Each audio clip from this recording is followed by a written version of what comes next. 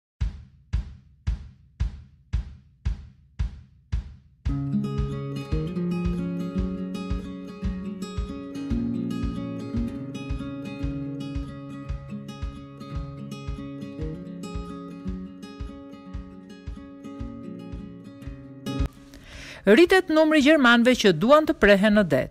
Një numër gjithmonë dhe më i madh i gjermanëve që po i drejtohen bregdetit verior të vendit të tyre si vendi i fundit të prehjes, sipas sipërmarrësve të ceremonive të varrimit, të cilët kanë raportuar një rritje të funeraleve në det.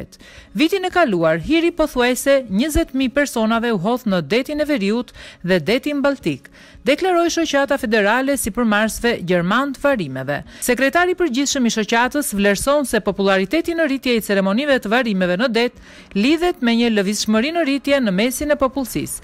Kjo për shkak se hedhja e hirit në det ka përfitime pasi nuk është e nevojshme për t'u kujdesur për varrin në tokë, thotë ai.